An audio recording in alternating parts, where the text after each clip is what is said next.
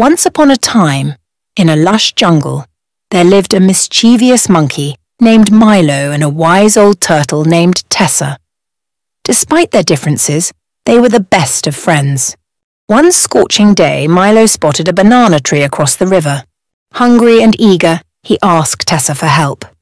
Tessa agreed, offering her back as a bridge. Milo hopped on, gobbling bananas greedily.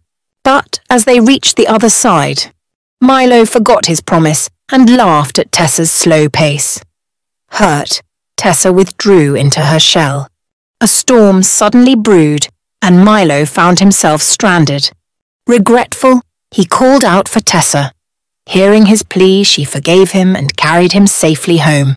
From then on, Milo learned to appreciate Tessa's wisdom and patience, and they shared bananas together, side by side, in the heart of the jungle.